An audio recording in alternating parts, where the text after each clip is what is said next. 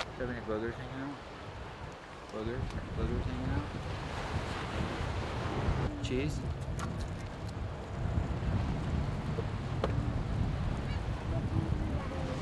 I'm really blown away at the. Uh, so basically, I'm really blown away at what happened with that 2K row video. I did not want to do that. And the only reason why I did that and the only reason why I pushed so hard is because the pressure from the community. You know what I mean? Like I was like trying to show off or something. I mean, as pathetic as that sounds. Hashtag truth. Do I open this for you, this cheese? Um, but but I mean, I'm excited. I mean, I was excited. To, I mean, I guess like, people always say, "Hey, when are you going to put that fitness to use?" So I have fitness, and I was able to put it to use on a rower, and it was really nice what the training think tank people said, what Max El-Hag says, and those guys said. I respect them. It's just cool. If it, if it gets one more person up off their ass and doing something, then I'm pretty stoked. And it's inspired videos like this now, right? To reflect on, to do other content so people can see what I'm doing. It doesn't make me the most comfortable for people to see me in my five inch shorts.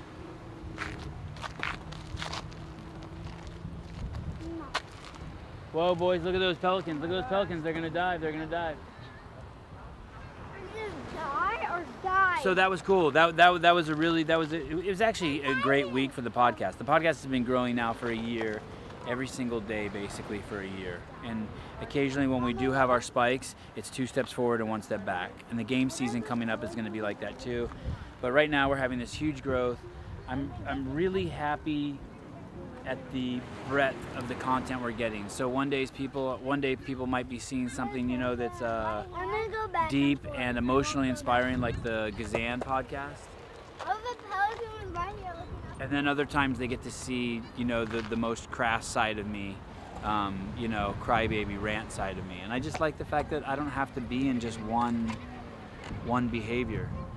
I was just in a store here, and a girl came up to me and hugged me, crying, saying thank you so much for the Alex Gazan podcast. Some just random chick just saw me in a store here with, with my kids, and that's the fact that it. I, I just can't believe it impacted people like that. To me it was just a normal conversation to be honest. I liked her. She was open. She's cool. My takeaways is i'm glad there's people like that in humanity. But other than that i thought she just seemed like a really down-to-earth cool cool cool girl. Oh you want to know what i saw on the internet yesterday i didn't actually see it someone told me that they saw a brooke Ence post that was saying hey this is bullshit to force people to get vaccinated and i really want to get brooke Ence on the podcast and, and, and like have a talk with her. Look, I did get in a little bit of trouble for my mom for um, banging on uh, Dave Eubanks a little bit. I, I put him through the ringer and through the logical cheese grater. And I told my mom, I go, it's not like I was like being mean to him. It's not like I like went on his Facebook and made fun of his family or you know anything like that or taunted him for his fucking clothes he wore. I wasn't being rude. I was just looking. I was being rude, but I was looking at stuff he had posted and then assessing it. And obviously he posted it because he wanted attention for it, right? So I gave him attention for it. And you know, if you if you don't know the difference between an unfertilized chicken egg and a uh, fetus, then I'm here to help him out. That's not very apologetic. I'm not trying to be apologetic, but I don't like to upset my mom. I want my mom to be, uh, um, even in this enlightened state of nothingness that I live in, uh, I do want my mom still to be proud of me. When I, I went back and I saw, or someone made a clip of the fact that I was interviewing uh, Danielle Brandon, and when I was telling her about how impressed I was by Justin Cotler and his passion for in a relationship, I was, I, I was, when I was watching that in hindsight, I couldn't remember how I spotted something was wrong between her and Cotler. And even when I watched the video and I watched Danielle's face, I don't know how I spotted that.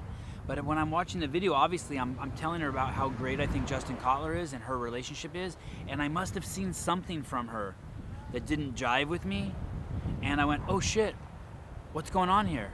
Because she wasn't like smiling or giving me the social cues or the nuances that matched with what I was saying. And I'm not one of those people who just talks, like I'm watching you to get feedback, right? I'm watching you to get feedback. And I wasn't getting the feedback I wanted, so then I paused the interview and everyone saw it in real time because it was live. And I said, dude, is there a problem between you and the underdogs? And she goes, well, and that's what opened that whole thing up. It was crazy.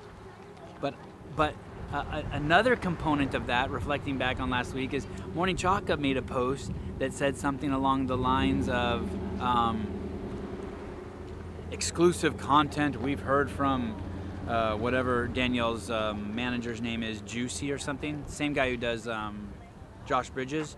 And we have exclusive uh, news from Justin Cotler regarding, and it's breaking news. And they did that whole article without mentioning, like, hey, this story accidentally broke on the Sevan podcast. And now we have statements from Juicy and Justin Cotler. And I'm like, okay. I mean, I mean, it's just it just makes me realize that they that they they're not storytellers. They're not truth tellers. They don't contextualize. There's no relativity. Woo, woo. Oh, wow. And the highlight for the community, and it hurts me to say this because I like Heidi Kroom so much, but something that we saw happen, and I'm sure a lot of people didn't catch it necessarily, but it's a huge historical moment for the Sevan podcast community was when we were had a Joyelle on and he had come clean about getting all juiced up. And uh, and and Heidi in the comments goes, I wish the girl from Mayhem, Ellie, would come clean. And there in the comments, Ellie goes, Here I am, Heidi. I'm open to chat anytime. And it's like there we saw something of technology and community and CrossFit. It's like that was such a unique, groundbreaking, historical moment, not only for the podcast, but just for the way reporting is done. I, I'm not able to perfectly articulate it, but I know that was huge. And uh, that's going to be, uh, there, there, I mean, there's been a year of momentum of the podcast exploding, but in this last month, it's like just gone to new levels. So, pumped. To be honest with you, I can't believe how well the game shows are going.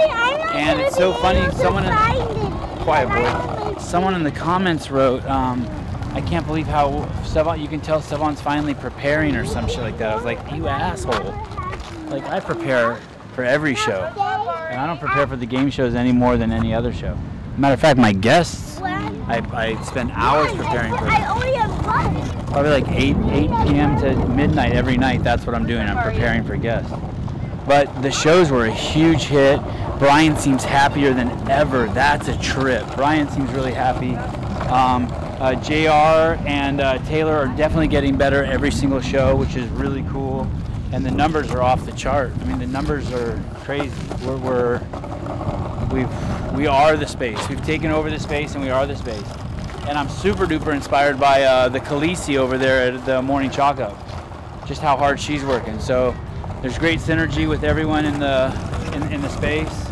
Um, I've even been watching um, some of the stuff that CrossFit Games has been putting out. Uh, the stuff that Sean Woodland does. I forget it's called Games General or something. There's not usually not a lot of the information in there that I'm looking for, but it, it still inspires me. Um, and uh, we started a new programming show. I don't know how often we're going to do that. The goal is every other week. The thought of that makes me nauseous. That much game shit. But I had a ton of fun. The first show, inaugural show, was two hours and 48 minutes with um, with Jr. and Taylor, and we fucking murdered it. So,